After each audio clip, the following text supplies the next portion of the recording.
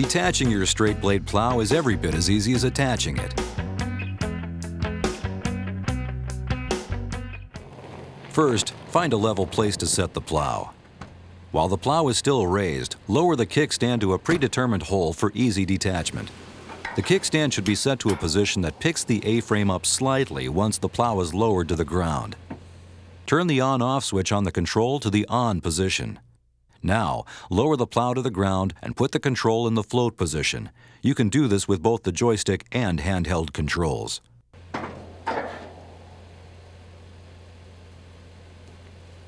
Flip the lock pin levers to the off position.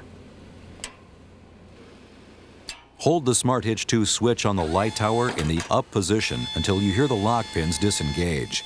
Then hold the Smart Hitch 2 switch in the down position to lower the light tower all the way down.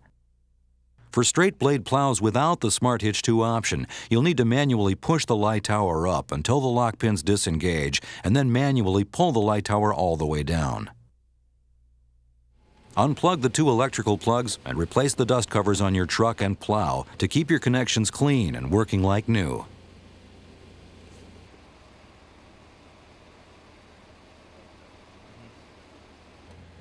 Finally, flip your rocker switch that directs power between your truck lights and your plow lights to the truck position.